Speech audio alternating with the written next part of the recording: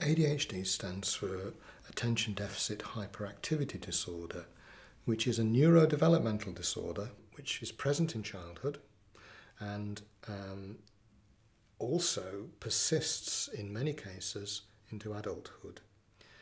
ADHD, by the time it presents in adulthood, often doesn't have much in the way of hyperactivity. The brain matures considerably throughout childhood, and hyperactivity and restlessness is often um, much less in adulthood.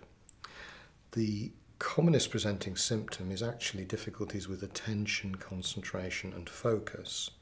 So, in other words, people often present with difficulty concentrating on their studies or at work. A very common symptom is marked procrastination. People with ADHD find it very difficult to start projects and often leave things to the last moment, sometimes missing deadlines for exams or projects at work. It's fair to say that in the UK it's not uh, not diagnosed as frequently as particularly in America and Canada.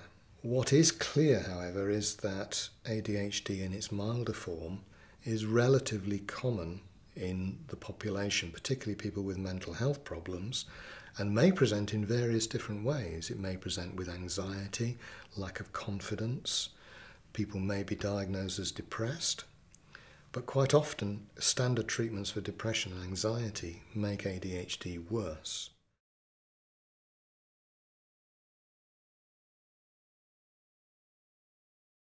There isn't a one size fits all treatment for ADHD, as in fact, there isn't really a one size fits all for any mental condition.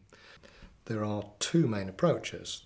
Um, people can be treated through psychological means, cognitive behavioural therapy, specialist CBT for ADHD, which um, can be demonstrated to be effective. The alternative or complementary treatment would be the use of medication. Um, in fact, the, the, the, medical treatment, the medication treatment for ADHD can be spectacularly successful. Um, and quite often people um, find that that treatment on its own is, is so effective that they do not wish to go on to have psychological treatments, although some people do. And quite often I would say to somebody, the, the interview and the questionnaires point to the diagnosis of ADHD We now need a therapeutic trial of treatment. These are the options.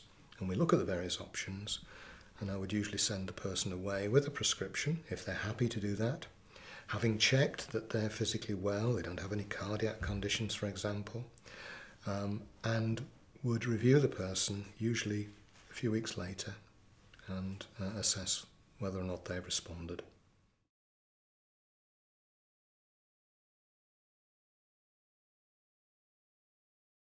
Treatment for ADHD is actually remarkably effective, and that's coming from a general psychiatrist who, for years was a little bit skeptical about ADHD, like many of my colleagues. It's actually only when you see people being treated and you see the improvements that they make and the rapidity of that, that, that improvement that you start to realize that this is a real condition which is eminently treatable. In, In terms of setting us apart from other services with ADHD, it is more about the rapidity of response. I can respond within a week.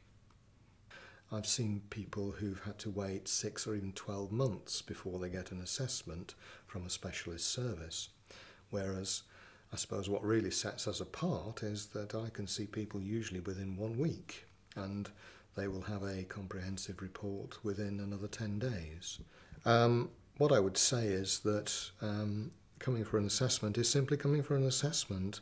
Um, there is no obligation to take treatment or, uh, or anything else. It's simply uh, an exploratory procedure to see whether or not there is a problem there which can be treated. Uh, if they want to pursue treatment, then treatment can be offered.